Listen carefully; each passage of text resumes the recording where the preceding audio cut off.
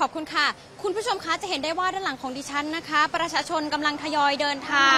มาที่หมอชิด2อย่างต่อเนื่องเลยค่ะ ซึ่งส่วนใหญ่นะคะ เดินทางมาจากภาคเหนือและภาคตะวันออกเฉียงเหนือค่ะ โดยในวันนี้นะคะบขสคาดการว่าจะมีประชาชนเดินทางกลับมามากกว่าช่วงเวลาปกติอยู่ที่ 60,000 คนค่ะ และในส่วนของเจ้าหน้าที่ตำรวจนะคะ ก็ได้ลงพื้นที่มาตรวจสอบความปลอดภัยค่ะ เพื่อป้องกันไม่ให้วินเถื่อนนะคะ เอาเปรียบผู้โดยสารค่ะ และล่าสุดนะคะสามารถจับกลุ่มวินเถื่อนได้แล้วกว่า 10 รายค่ะ ซึ่งส่วนใหญ่นะคะจะมารอเรียกรับเงินจากผู้โดยสารค่ะ อยู่ที่บริเวณทางออกของชานชาลาขาเข้าค่ะ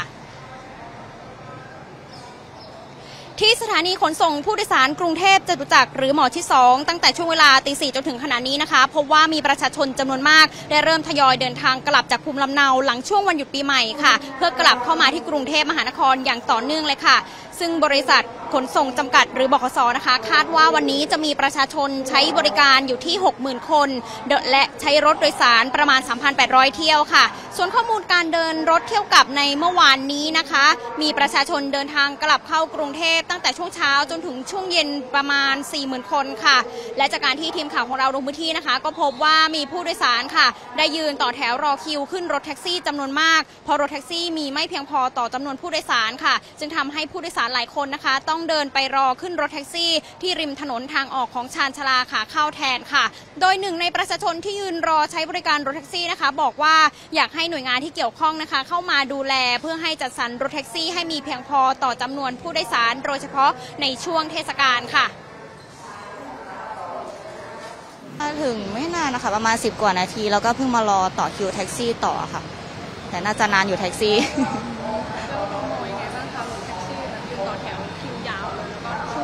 เปกติจะไม่ค่อยยาวแบบนี้แต่มันอาจจะเป็นช่วงเทศกาลแล้วก็วันพรุ่งนี้คนทำงานด้วยหรือเปล่าไม่แน่ใจคนก็เลยแบบเยอะเป็นพิเศษ ใช่ถ้าเป็นไปได้นี่เราอยากให้แบบว่าทางกสทหรือว่าที่นี่แบบอยากให้ปรับปรุงเรื่องเรื่องเรื่องแท็กซี่นี่แหละค่ะ เพราะว่ารู้สึกว่าปกติถ้าเกิดเราเดินทางมาทางรถทัวร์เนี่ยรถแท็กซี่มันจะค่อนข้างน้อยช่วงเทศกาล นอกจากนี้นะคะเมื่อช่วงเวลาประมาณตีสี่ครึ่งที่ผ่านมาค่ะตำรวจจากสนบางซื่อนะคะ ได้ลงพื้นที่ตรวจสอบความเรียบร้อยที่บริเวณชานชาลาขาเข้าค่ะ และสามารถจับกลุ่มวินเถื่อนผิดกฎหมายได้ที่บริเวณชานชาลาขาเข้านะคะ ได้อยู่ที่ 10 รายค่ะ ซึ่ง 9 รายนะคะ ถูกปรับเป็นเงินทันที 1,000 บาท และอีกหนึ่งรายนะคะ ถูกฟ้องศาลเพราะไม่มีใบอนุญาตขับขี่ค่ะ ซึ่งอาจถูกจำ ซึ่งอาจถูกโทษจำคุกไม่เกิน 1 เดือนนะคะ หรือปรับไม่เกิน 1,000 บาท หรือทั้งจำทั้งปรับค่ะ และตำรวจนะคะ ให้ข้อมูลว่าตั้งแต่ปีที่แล้วจนถึงขณะนี้สามารถจับกลุ่มวินเถื่อนได้แล้วประมาณ 130 รายค่ะประชนที่กลับมาจากต่างจังหวัดนะครับเข้ามาที่หมอชิดนะครับเพื่อที่มาทำงานที่กรุงเทพหลังจากกลับบ้านไปนะครับพอมาถึงหมอชิดนะครับมันจะมีแท็กซี่นะครับที่